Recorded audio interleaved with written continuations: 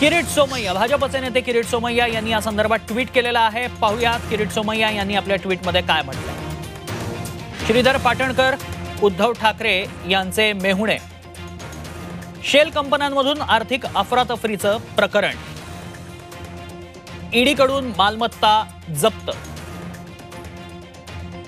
घोटालेबाजों को छोड़ेंगे नहीं.